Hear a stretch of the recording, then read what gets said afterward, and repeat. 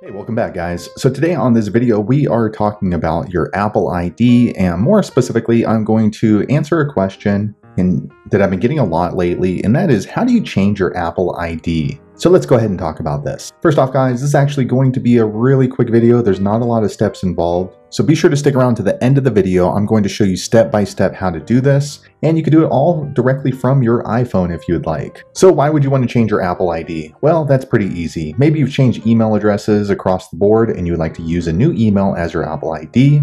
Whatever the case is, it's a pretty easy process and it's all handled through your browser. So first you need to go to this website right here, appleid.apple.com. Check my video description, I'll try to leave a quick link there. Once you're here, you will need to sign in with your current Apple ID.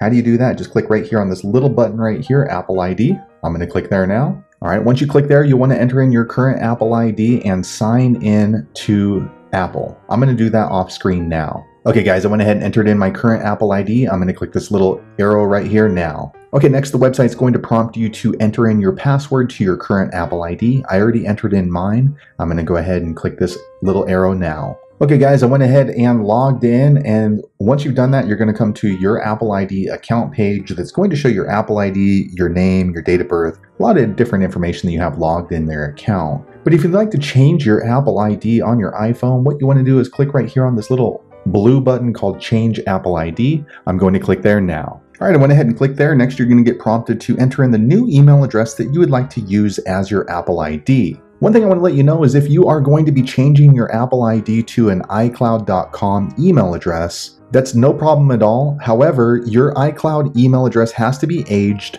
for at least 30 days. So for example, if you just created your iCloud email address, two weeks ago, you are going to need to wait the full 30 days from when you first created it before it will be accepted as a new Apple ID. Also, I want to let you know that sometimes if you're entering a new email address as your new Apple ID, you will get an error that says that email address is already in use, which seems kind of strange because it's your email address, right? However, what you want to do is make sure that your family members are not using that already as their Apple ID because if they're using it, you cannot use it. And if that's the case, they will need to remove it from their account before you can use it as your Apple ID. That's really a small chance of that happening. Also, another alternative is you can just simply use a different email address. Also, the next thing I want to note is that some places you can use a phone number as an Apple ID. I personally have never seen this. I don't know if it's available in the US. It might be in different countries. But according to Apple, that you cannot switch from an email Apple ID into a phone number email